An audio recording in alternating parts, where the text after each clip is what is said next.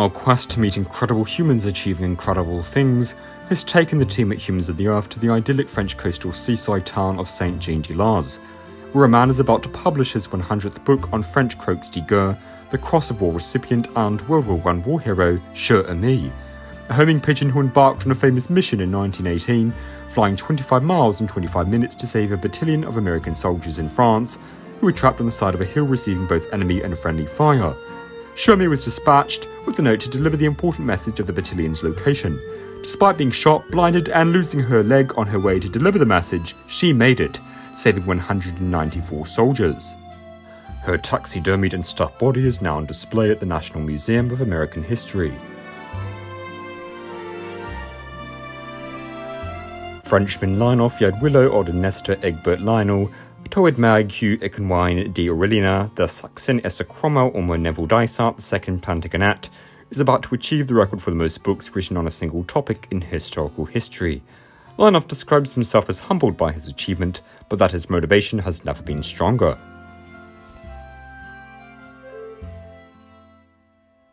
I am a full-time biographer for Cher Ami, the beautifully blue pigeon who was awarded the Cross of War during World War I for her service to the Allies. Uh, I have been biographing her life for over 30 years and there really is not a topic untouched when it comes to the topic of Cher Ami. As seen here, I have completed 99 books on Cher Ami and I'm about to write her 100th book.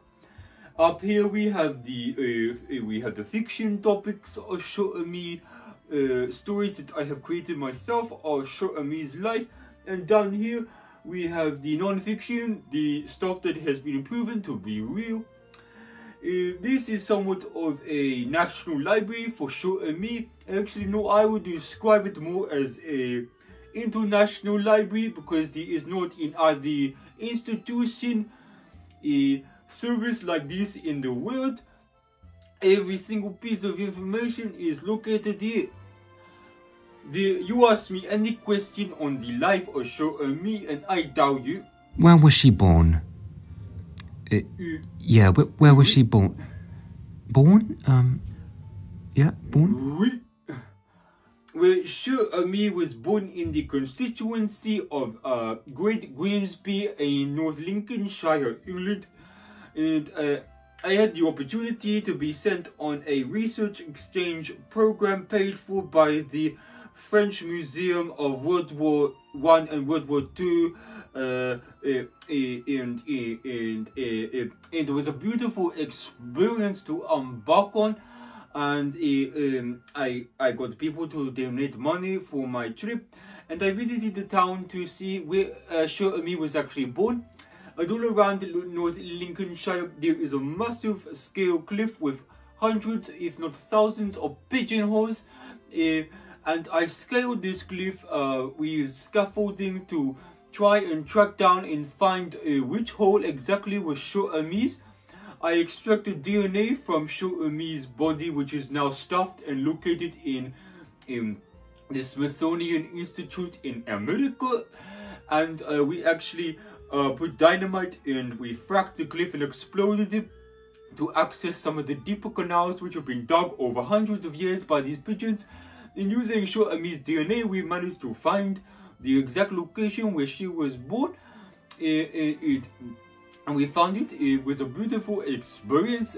Unfortunately, in the process of blowing up the cliffside, we did uh, have some pigeons get completely obliterated, but that is by the by. Devoting my entire life to documenting and biographing Cher Ami's life has meant that I have had to make many sacrifices such as a wife, children, friends, and of course my parents who I have not seen in over a decade but it is very much a sacrifice I am willing to make.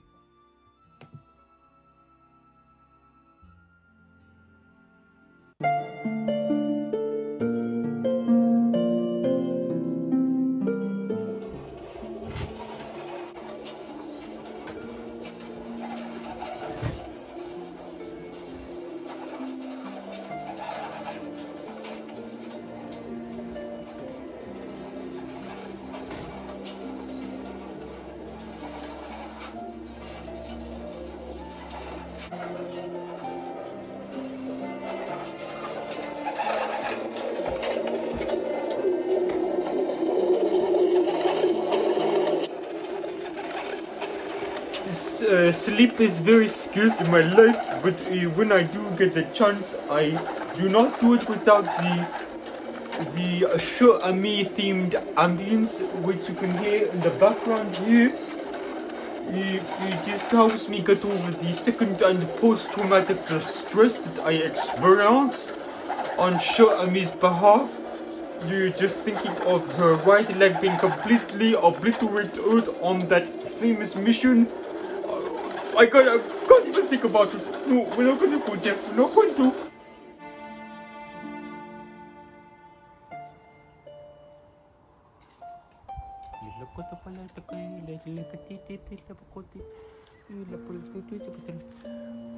Oh, well, I, I, I do wonder if this uh, leaf here could be show me in another life form. I am a firm believer in reincarnation, and I often do feel that Cher Ami is present in the all life forms around me. Uh, I'm going to take this leaf and water it inside. Um, I have a simple rule in my house, and that is simply no squishing any of the bugs or living insects that you may see. It is simply off limit for fear that it could possibly be Cher Ami. This is where you will notice lots of spider webs and bugs congregating in the corners of many of my rooms because I simply don't want to risk the fact that it may be Cher Ami. I often feed these insects and incentivize their existence in my house, which is why I think I have a big cockroach nest located under my oven because whenever I go to bake something or turn the oven on, I always have a big horde of cockroaches running away to escape the heat like an atomic bomb has just gone off. But I never kill these cockroaches because I always fear it could be Cher Ami. Lyof's books have gained both praise and criticism for their in-depth research and wide range of topics. However, some detractors say he needs to leave the heroic war pigeon to rest in peace. I sat down with English historian Mark Turnup, who expressed his disappointments and viewed that Lyof's work is nothing to be proud of.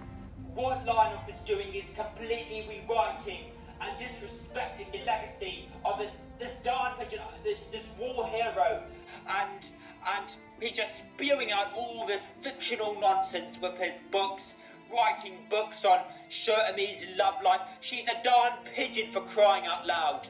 Seriously, have some decency and respect to the profession of biography work. But it is resoundingly clear Lyof has no plans in stopping his relentlessly detailed biography work.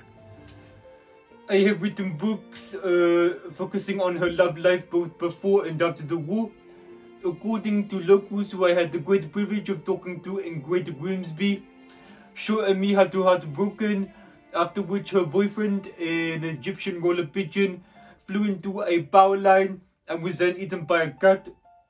Uh, it basically documents uh, her emotions in the following days, and the second half of the book is uh, is more of a poetic monologue from the POV of and me. Other books that I have written uh, have delved into her diet, her cooking patterns, her political beliefs, uh, uh, her toxic relationships that she was in, her hobbies, and uh, her self-esteem issues and uh, struggle to body image growing up. Uh, uh, and another book that I wrote focuses on her involvement with a, a hostile gang of pigeons after the war who used to attack beachgoers and steal their chips. Uh, it was basically a very sad fall from grace for Cher Ami, but uh, she certainly wasn't without her flaws, that's for sure. Uh, uh, oui. Uh, uh oui. Today, Lyof is officially publishing his 100th book on Cher Ami.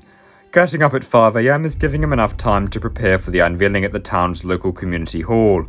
And he is optimistic that the $2,000 hiring fee on the venue will earn itself back despite having failed to sell a single copy of his books in his last 70 publishings.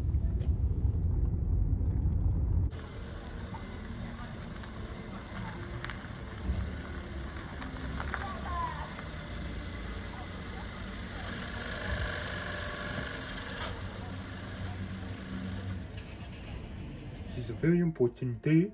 My 100th book on Cher Ami is being published Well, by published, I mean I am at my rented research lab to print off the book manuscript. It is an entirely self-published project, and out of all of the books that I have created on Cher Ami, I do feel like this is going to be the most successful book of them all. I'm just trying to get this printer working.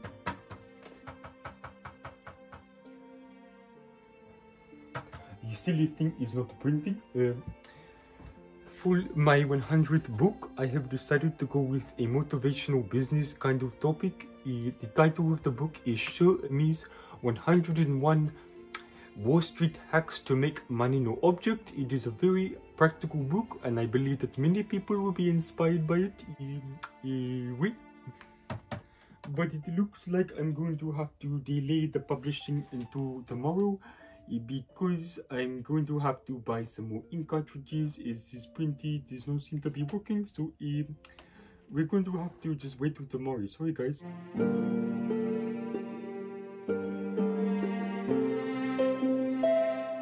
Sure, me, could you fly faster than a Prius? If it was crashing down in a blaze of impending doom, would you send a message to the fire brigade to put it out? Sure, me, if I wove together the most perfect croissant, would you find it? Sure, and me, if my neighbor laid down pest poison, would you turn your head away and intellect? Sure, and me, if I let you into my house, would you refrain from excreting on my nice carpet for just an hour or two, so that I could talk to you without distraction? Sure, and me, sure, and me, sure, and me. Viva les chers amis!